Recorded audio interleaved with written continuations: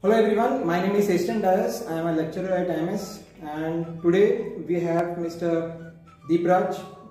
He is an ex-IMS student. Uh, he has done his ETO from here and today he has come to IMS to visit us. So we'd like to hear from him, his story. Hi, uh, I'm an ex-student of this IMS.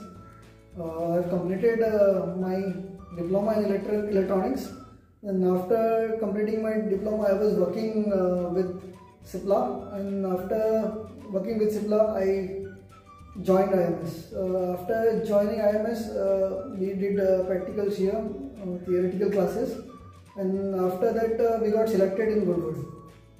After uh, now we I have started my electrical officer career with Goodwood Ship Management and I was placed before as a trainee ETO, then assistant ETO, and then gradually it is like a full-fledged ETO. Now uh, almost I have completed nine years with Goodwood, and I want to thanks uh, IMS for giving me a, a good chance to prove myself. Uh, it was a very good journey with uh, IMS and Goodwood. Uh, before when we were, we were studying here, there was uh, there were not much uh, practical tools were there available in IMS. But now, I, after almost uh, eight years, I visited IMS. Now the picture is totally changed.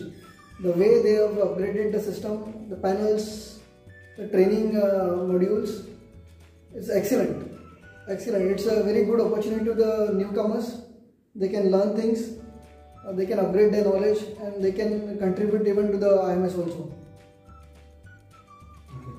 Very nice. Um, it was about how your journey on ship actually.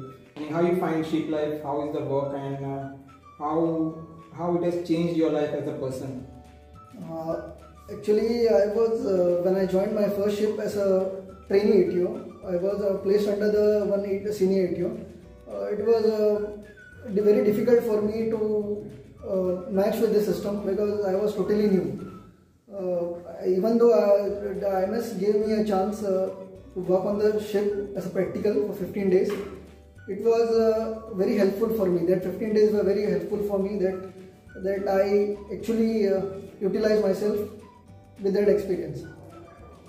Uh, was very tough. Initially, two months was very tough, very very tough because uh, it- the time, the system was totally new for me. Then uh, gradually I updated myself with the system, and till now it's good, good experience for me.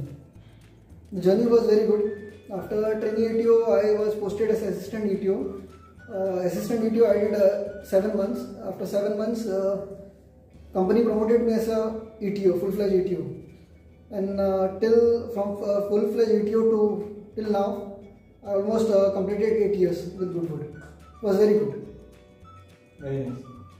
And how many places you have visited? Any different parts of the countries which are there or the world which are there? Yeah, people think uh, it's a it's like a uh, shipping job is just to roam around the world, but it's not like that. Uh, as a in the cruise liner, they get the opportunity. For us, uh, we are working on the tankers, especially VLCCs. Uh, they don't go to the port normally. It's a very rare chance, and if we get the chance, we are very ha- happy for that. Uh, as of now, uh, we have visited uh, Gulf countries, China, America, and Brazil.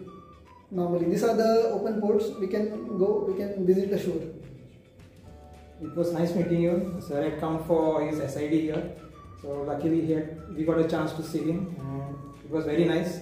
Thanks for your advice and uh, your insights. We would like to see more of you. Thank you. Sure, sure. Thank you.